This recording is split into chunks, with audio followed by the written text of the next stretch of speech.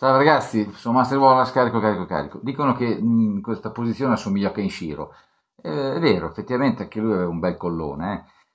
Allora, eh, ragazzi, oggi mh, vi parlerò di un argomento interessante di cui hanno già trattato ultimamente il dottor Rosso, anche Simo Pagno, ho visto ieri.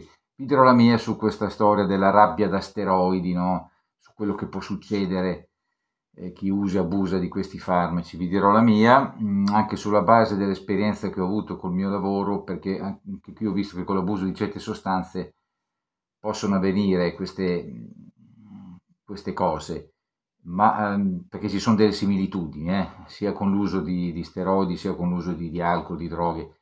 E quindi dirò la mia sotto, mm, cioè, sotto questo aspetto, dato che me ne hanno chiesto, poi valutate voi naturalmente, ognuno si farà la sua opinione, ok? Però prima mh, mm, vorrei eh, raccontare questo episodio, siccome mm, lo dovevo dire ieri nelle risposte, poi eh, diciamo mi è anche sfuggito, ma non perché non l'abbia mai raccontato, eh, ma mm, lo voglio fare di nuovo in modo anche un po' più dettagliato, così almeno una volta per tutte eh, lo chiariamo bene. No, è il famoso episodio del, del mio incidente che ebbi con la, con la volante che Dunque, questo incidente capitò nell'81, io ero in polizia da un anno ed ero già in volante, perché io ho sempre fatto la volante da, da, inizio, carri- da inizio, carriera a fine carriera. Credo essere un caso unico in Italia, così mi hanno detto, non lo so. E, tra l'altro in, quella, in, quella, quell'anno lì mia moglie era incinta del mio primo figlio Alex, quindi mh, questa è la situazione. E mio figlio ha anche rischiato di, di nascere orfano, perché se in quell'incidente ci lasciavo la pelle sarebbe nato orfano. Vedete come il destino può cambiare in un attimo tutto. Se mio figlio fosse stato orfano, tutto questo non ci sarebbe, a parte Master, ma nemmeno avrebbe il fratello, nemmeno avrebbe questi nipoti. Sarebbe cambiato tutto. È un attimo, in una vita può cambiare tutto. Questo per dirvi veramente come siamo, siamo dentro il fiume degli eventi che ci scorre contro, no? Il famoso esempio del buddismo. Allora, adesso non sto a dire chiaramente tutta la dinamica del... eravamo su un intervento, quindi chiaramente era, era quasi mezzanotte, tra l'altro era Capodanno, per cui io dovevo, speravo anche di riuscire a smontare in orario per andare a fare Capodanno con la mia famiglia che mi aspettavano, c'era mia moglie incinta con le mie sorelle, i miei parenti, e mi aspettavano, poi io sapevo anche che con il mio lavoro potevo anche eh, tardare o non andare, ok? Comunque allora è successo appunto che proprio verso, verso la mezzanotte, poco prima, eravamo in intervento, lungo il litorale e purtroppo era una serata molto fredda, le strade erano ghiacciate, c'era ghiaccio, ero io la guida della macchina. E mm, purtroppo è successo che eh, siamo sbandati durante, mentre stavamo andando in un lungo tratto che costeggiava la pineta di Marina di Ravenna, siamo, siamo sbandati, la macchina praticamente si è intraversata io ho, mi ricordo, gli ultimi, il ricordo che ho, proprio il ricordo che ho prima del, del buio, del trauma commotivo che si spegne la luce, è stato questo, quando la macchina si è intraversata, ho, ho detto al mio collega, tieni, tieniti stretto, tieniti forte, una cosa del genere, e poi il buio assoluto. Perché dovete sapere che quando c'è un trauma commotivo il cervello si spegne. È come quando un pugile riceve un pugno, il cervello viene sballottato, si spegne immediatamente. Mi, so, mi sono spento. Che cosa è successo? La macchina è finita in mezzo alla pineta, ci siamo ribaltati, insomma, fatto sta che io non so come, ma sono stato proiettato fuori dal parabrezza della macchina, le, non, non, avevamo le cinture, all'epoca tra l'altro non c'era neanche questa, questa cosa, eh, ma forse con le cinture sarei morto, lo dico subito. E quindi sono stato sbalzato fuori dal, dal parabrezza, buttato fuori.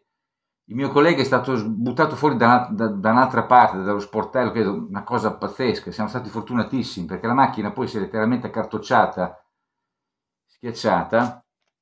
E io oh, quello che ricordo è che a un certo punto mi sono, um, ho aperto gli occhi ed ero, ed ero lì, ed ero nella, in, questo, in, questo, prato della pineta, ero lì sdraiato. Vi dico una cosa, una sensazione stranissima.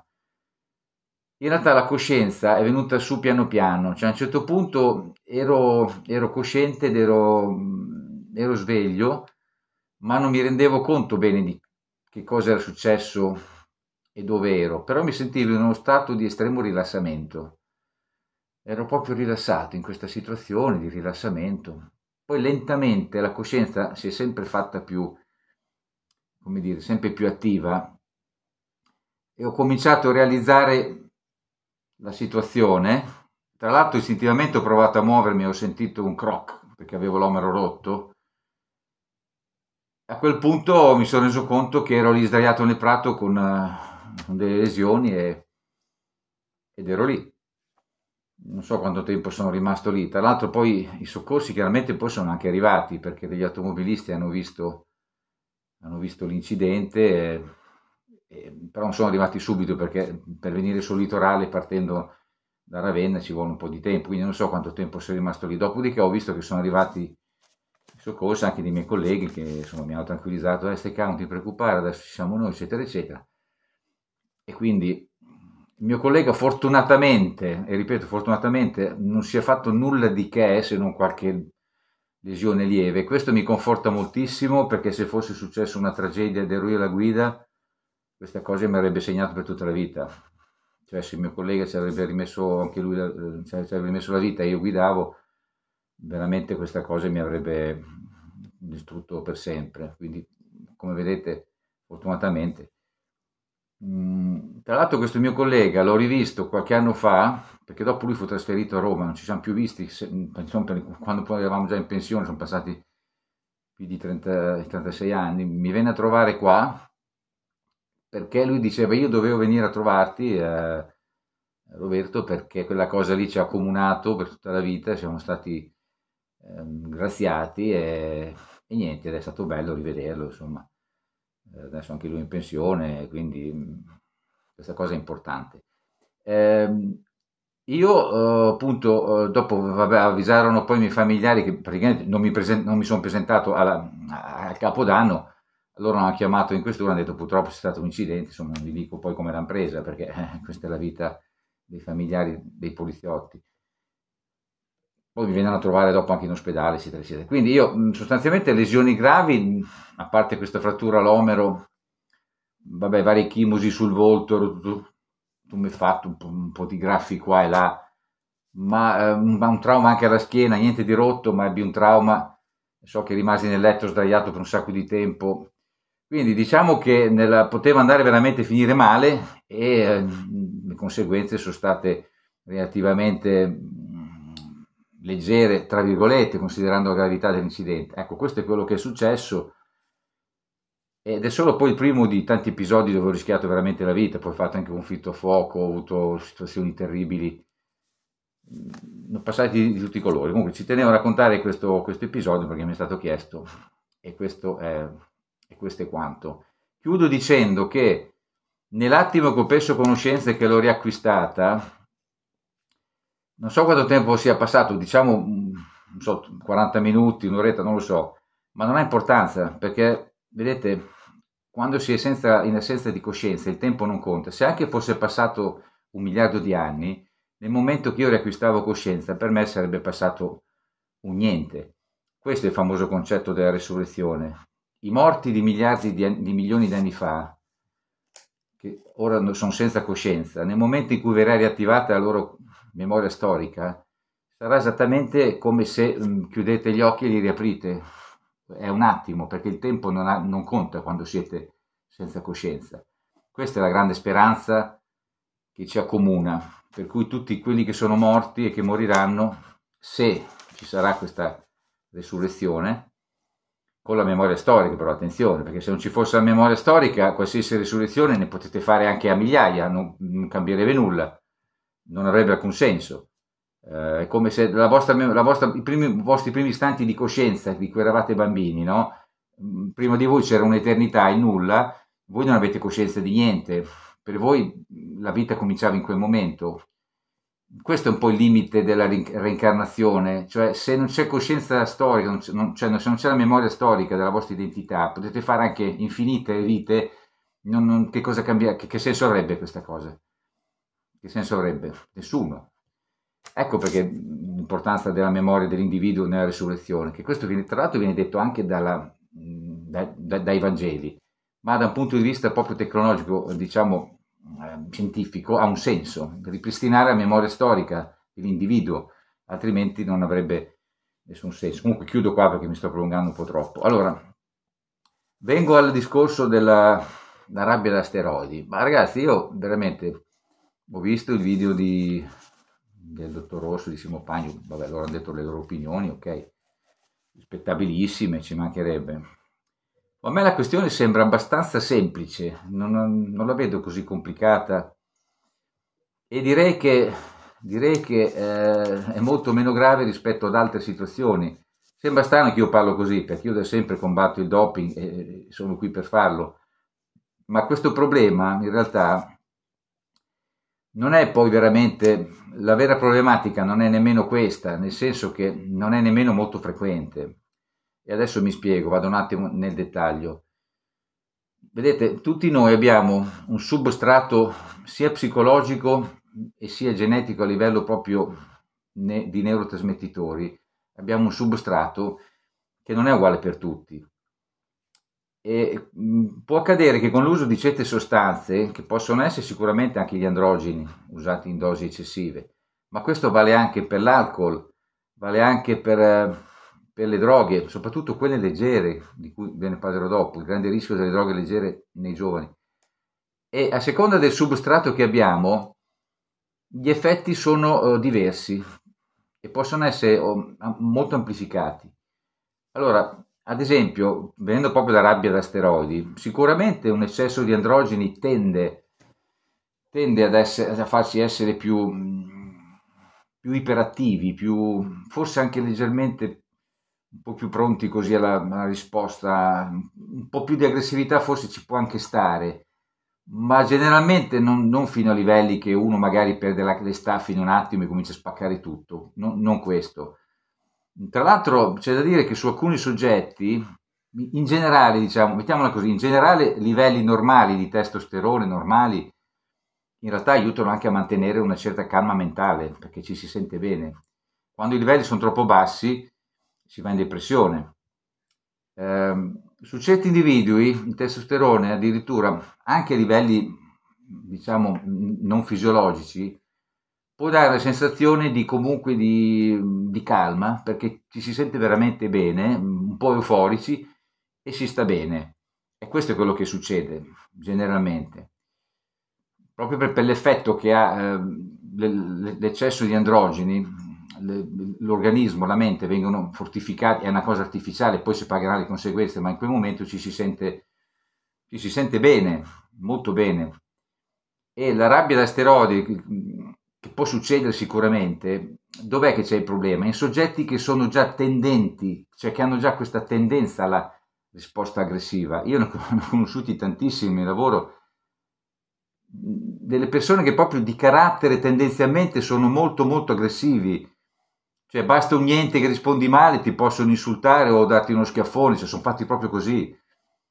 Eh, alcuni hanno anche proprio latenze psicotiche molto pericolose che vengono in genere con l'alcol in questi soggetti qui questi diventano veramente violenti e perdono la testa io non sapete quanta gente abbiamo messo in cella per una notte di violenza perché con l'alcol hanno, hanno perso veramente la testa ma fuori dalla, fuori dalla, dalla sbornia dell'alcol diciamo erano persone che che ragionavano e si rendevano anche conto di quello che era successo e che l'alcol aveva amplificato delle loro tendenze aggressive, che di fatto le avevano, ma con l'alcol veramente esplodono. Ecco, questo può succedere anche in individui molto tendenzialmente già collerici, individui già veramente molto aggressivi di per sé, mm, non voglio dire sociopatici, ma insomma veramente quegli individui a carattere molto molto difficile, che ne ho conosciuti tantissimi, sicuramente lì eh, un eccesso di androgeni potrebbe veramente far esplodere la situazione. Questo sì, e ci sono tanti casi di, che sono accaduti anche a livello di campioni famosi. Mi ricordo un caso famosissimo di un campione di colore americano che viveva con una, anche lei con una bodybuilder eh, poi diventò violento proprio con l'abuso di questi steroidi, lei addirittura lo uccise, poi andò anche in carcere, fece un'intervista, mi ricordo. Sono tanti gli episodi che sono successi di questo genere. Eh, ma ripeto, sono soggetti che tendenzialmente sono già predisposti e che se non erano gli steroidi sarebbe stato l'alcol o forse la cocaina, che la cocaina poi cioè in soggetti molto aggressivi gli fa perdere il controllo nelle staffe.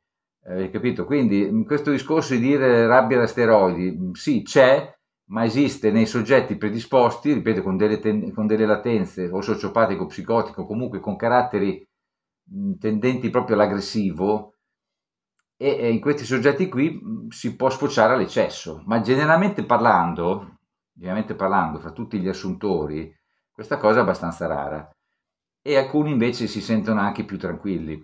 Semmai il problema, sapete quando viene? Viene quando c'è la sospensione di queste sostanze perché anche ehm, depressioni latenti, che con gli steroidi, con gli androgeni migliorano, in realtà poi con la sospensione di, questi, di queste sostanze, le depressioni hanno un rebound pazzesco, ehm, cioè con, in questi casi di depressione con l'uso degli androgeni si va in up, si tende a stare bene, euforici, ma con la sospensione c'è un down pauroso, che avviene anche, anche con, la, con, la, cocaina la stessa cosa, anzi con, con la cocaina è molto più amplificata, perché la cocaina veramente tende a dare questi deliri di onnipotenza i soggetti, specialmente nelle depressioni bipolari, eh, steroidi, androgeni e eh, cocaina alla sospensione danno, oppure durante l'astinenza danno effetti devastanti. Quindi semmai il vero problema degli steroidi non è tanto quando li assumi e eventuali casi di rabbia che ci sono ma molto rari, ma il problema riguarda la depressione che invece è molto più diffusa fra chi sospende l'uso perché è proprio un effetto rebound, perché gli androgeni vi, vi fanno anche salire i neurotrasmettitori eh, quelli diciamo stimolanti l'euforia, tipo la serotonina, la, la noradrenalina, salgono, ma la sospensione c'è il rebound scendono. Ok? E poi c'è anche il calo del testosterone stesso a livello della, dell'asse, ipotalamo gonadi, che quando il testosterone è bassissimo, la, depressione c'è e nei soggetti predisposti alla depressione è gravissima. Qui magari qualcuno forse l'ha anche detto pubblicamente, e il fatto stesso che ne faccia uso non farà altro che amplificare queste sue problematiche di base, ecco perché dico sono scelte scellerate, poi ripeto, io lascio al destino le persone che vogliono quel destino lì, facciano loro. Ma ecco, questa è la situazione. Voglio dire questo comunque, eh, in realtà poi se se pensate bene a livello proprio sociale, siccome l'uso degli steroidi sì, è diffuso, ma una nicchia molto piccola della popolazione che fa uso di steroidi relativamente ai, così, frequentatori di palestre, eh, agonisti, poi agonisti sono pochissimi, ma la vera piaga sociale è l'uso delle droghe e dell'alcol. Eh, queste cose qui davvero possono creare tanti tanti problemi. Ah, aggiungo una cosa, un altro effetto che pochi considerano con l'eccesso di androgeni, al di là della rabbia steroidica, ripeto, è rara, colpisce solo soggetti predisposti. Secondo me l'effetto più subdolo, ma più pericoloso, fra virgolette, dell'eccesso di testosterone, ma ne ho già parlato in un altro video, è il fatto che aumenta la, la libido sessuale a livelli altissimi. Il famoso effetto F, no? E, e, questo crea un sacco di problemi a livelli sociali. Perché? Perché, ripeto, in una situazione del genere, uno che ha fidanzata, moglie o figli, è molto probabile che vada a rovinarsi perché succede proprio una, una trasformazione anche, anche, della mente che questa cosa del, del sesso della libido è a livelli stratosferici e tantissime famiglie si sono sfasciate relazioni mh, per questa cosa qua ne ha parlato anche noto campione ex campione italiano che ha detto che questa cosa gli aveva rovinato la vita sue parole l'eccesso di testosterone per l'effetto F Dicevo l'uso delle droghe e dell'alcol. Eh, l'alcol tendenzialmente tende a dare sedazione nella maggior parte della, de, dei soggetti. Difatti spesso viene usato per fare gli esami a scuola, per approcciare una ragazza nel locale che se no c'è l'ansia. L'alcol ha un effetto sedativo, ma anche qui su, su alcuni soggetti può dare effetti mh, di, di collera, di rabbia. Purtroppo, mh, fra i soggetti giovani, però, quello che dilaga è l'uso delle droghe leggere. L'uso delle droghe leggere, che dilaga veramente. Mentre qui tanti sapientoni parlano, no, ma legalizziamo, fa, in fondo fumare le droghe leggere non fa male. Guardate che anche qua fra di noi, eh, qui tutti questi famosi influencer che fanno i grandi cappuccioni, ci sono consumatori di droghe leggere. Ok? Questo già dice tutto su, anche sulla loro credibilità, secondo me, morale. Perché chiunque si presenta qui, si rivolge a un pubblico, in generale, ma soprattutto anche di giovani, ed è un assuntore di droghe, secondo me questa cosa è altamente eh, diseducativa, immorale, e mi fermo qui, ma ci potrebbero essere anche altre conseguenze di cui mi fermo qua adesso. Uh, dunque, le droghe leggere, che cosa succede? Qual è il problema? Premesso che è assodato che danno danno anche a livello polmonare, eh, a livello generale, forse, forse anche più del fumo, proprio da tabacco, ci sono danni alla salute proprio a livello cardiorespiratorio pesanti, e questo già basterebbe per non incentivarne l'uso. Eh, ma anche qui c'è il problema delle latenze sociopatiche o psicotiche che uno ha. Le droghe leggere è assodato, non lo dico io, lo dicono i testi di psichiatria, lo dicono gli studi di psichiatria, lo dicono, mi ricordo in tv uno dei più famosi esperti, eh, il dottor Paolo Crepè, che è psichiatra, ha trattato anche lui spesso le tossicodipendenze, non è uno che parla casaccio. Io stesso poi ho vissuto nelle comunità col mio lavoro, ho visto tanti ragazzi lì che erano messi lì per abuso di droghe leggere. Allora, la situazione è questa. Premesso che fanno male a prescindere, proprio alla salute, no? anche a livello diciamo psicologico tendono a far diventare letargici, cioè non si ha più voglia di iniziative, proprio tendono a spegnere il, il, il ragazzo. Ma c'è questo problema delle tendenze nascoste, sociopatico, psicotiche, che le droghe leggere le fanno saltare fuori. Avete capito? È questo il problema. Se un ragazzo ha delle tendenze psicotiche latenti, che per il momento sono lì, forse non verranno mai fuori, o forse sì, ma quello che è certo è che con l'uso delle droghe queste tendenze verranno buttate fuori e amplificate e può succedere di tutto. Quindi questo è un altro grande danno, ma molto più esteso, perché gli steroidi alla fine nella popolazione, se guardate, l'uso è minimale, cioè cos'è l'1%, forse nemmeno, ma l'uso delle, delle droghe leggere fra i giovani sono statistiche del 30-40%. Quindi capite come questo è un fenomeno molto più grave. Allora, non perché io, cioè io sono sempre contro gli steroidi, è da anni che sono qui a parlarne, però andare a fare una campagna terroristica sulla rabbia da steroidi, che esiste, ma è un fenomeno molto raro, ma perché? Primo perché i consumatori di steroidi sono rari nella popolazione. Secondo, perché ehm, anche fra chi li usa questa cosa è rara e ci deve essere, lo, lo ripeto, sotto un substrato mentale, diciamo, di, di struttura di, del cervello proprio a livello di, neo, di neurotrasmettitori, produzione dei neurotrasmettitori che è già votata all'aggressività e allora è chiaro che lì può succedere. Quindi io uh, mi sento di dire che sicuramente di non usare mai in nessun modo il doping e anche insegnare a usarlo tutti quei discorsi, la corretta informazione, penso tutte balle gigantesche che alla fine vanno, vanno solo a incentivare l'uso, punto, perché tanto si vede che è così. Eh, perché io quando vedo i commenti di persone che insegnano a usare i farmaci o ne parlano diciamo a scopo educativo, vedo che i commenti sotto sono tutte domande del tipo che vogliono sapere come usarli. Eh, quindi altro che incentivare, questi vogliono sapere. È l'esatto opposto, ho sempre detto che è altamente diseducativa questa cosa. Poi, non parliamo poi che se uno viene a parlare che lui stesso è assuntore. Cioè, ragazzi, questo secondo me non dovrebbe neanche presentarsi qui a parlare, mm, ma proprio, proprio non dovrebbe neanche presentarsi. Comunque, diciamo Pedro che tanto qui è una battaglia persa, abbiamo già visto che qui si vede, si, si vede, si sente di tutto qui veramente. E quindi ragazzi io confermo il fatto che dovete assolutamente evitare l'uso del doping, a prescindere dal discorso della rabbia da steroidi, eccetera, eccetera. Ma io vi dico anche, e lo dico, evitate ogni abuso di sostanze che possono farvi del male, che sono l'alcol, che sono le droghe, sia leggere che pesanti, e cercate di fare una vita sana, ovviamente anche fumo di sigaretta, cioè io sono contro anche quello. Cercate di fare una vita sana perché è questo che dovete fare, non solo per voi, ma per i vostri familiari, per il vostro futuro, per tutta la società, cioè questa cosa è importante. Ogni ragazzo che è preda di un vizio è un danno per tutti.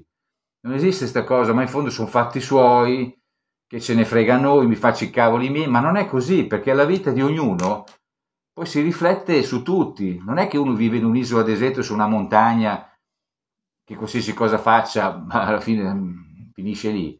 Qui siamo tutti coinvolti, quindi un ragazzo problematico eh, diventerà un problema per tutti, poi parliamo poi quando succede un caso di, di, di, di tragedia, che dopo lì ovviamente, eh, proprio c'è stato un caso recente di un giovane che ha fatto,